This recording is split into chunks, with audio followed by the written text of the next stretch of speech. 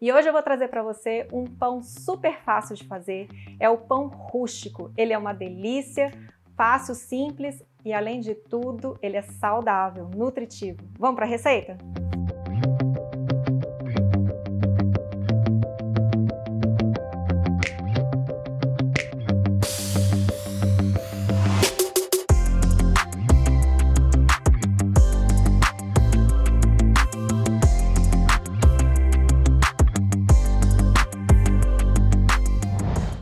Primeira coisa que eu fiz foi misturar a água, que tem que ser morninha, porque ali vai funcionar melhor o fermento, vai ativar o fermento, e misturei com açúcar né, e o fermento.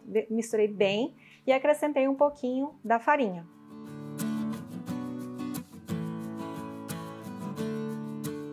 Descansou um pouquinho, aí eu acrescentei o restante todo da farinha,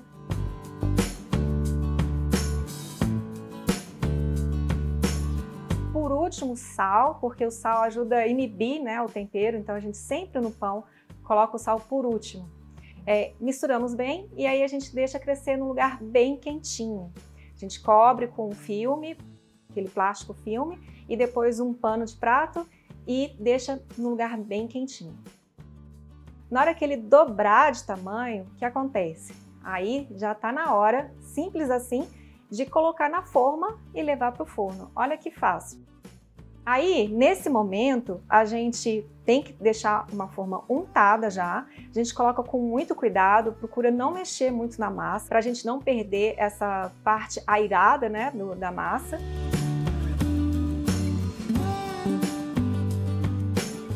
E aí, a gente põe na forma, põe o que você quiser de cobertura. Eu usei tomatinho cereja, vermelho e amarelo, um pouquinho de sal, é, e azeite. Então agora é só esperar no forno.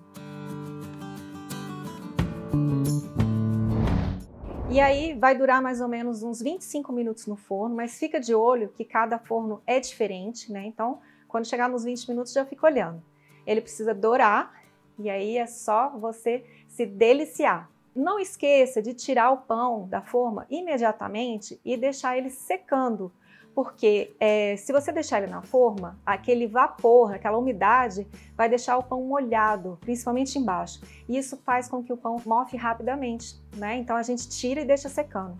Se você não tiver aquele, aquela gradezinha que a gente deixa pão para secar, você pode usar em cima do fogão mesmo. É uma madeira bem barata, que o ar embaixo, né, ó, vai entrando e vai secando o seu pão. Eu vou pegar a gradinha para você ver como que é. Enquanto a gente espera o pão, né, é, ficar pronto, né, eu vou mostrar a gradinha para você. Então tem vários tamanhos, vários tipos. O interessante é simplificar a nossa produção, né, aqui na cozinha. Se você não tiver isso, não fique preocupada. Usa a boca do fogão, que aqui, ó, você tem bastante ar, tá bom? E olha só que delícia esse pãozinho, bem fofinho, bem gostoso. Vou experimentar agora.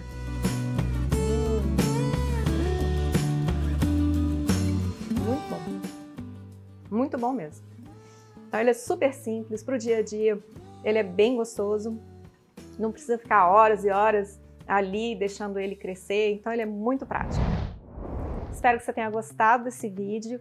É, eu gosto muito desse pão, ele é muito prático. O pessoal aqui em casa gosta muito. E se esse canal está sendo útil para você, compartilha o vídeo, é, curte aqui também, se inscreva no canal, escreve aqui nos comentários se você quer alguma receita, conversa comigo, vai ser um prazer estar discutindo esses assuntos com você. Então a gente vai ficando por aqui, um grande abraço, um beijo e até a próxima!